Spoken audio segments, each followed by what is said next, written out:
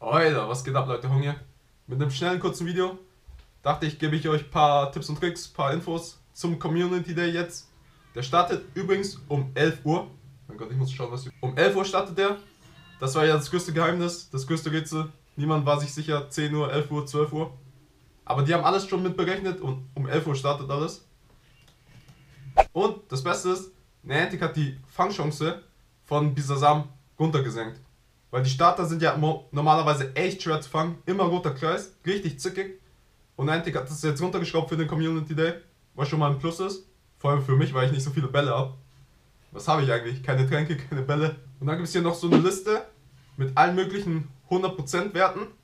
Weil die Map ja nicht funktioniert, kann man nicht jetzt gezielt auf 100er Jagd gehen.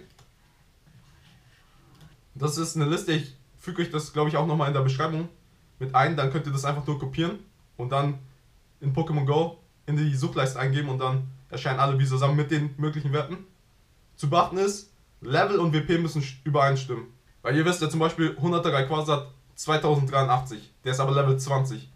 Und sagen wir, wir pushen ein schlechteres und dann hat es auch 2083, aber das ist dann Level 21 oder 22. Also es ist nur eine mögliche Kombination der 100er.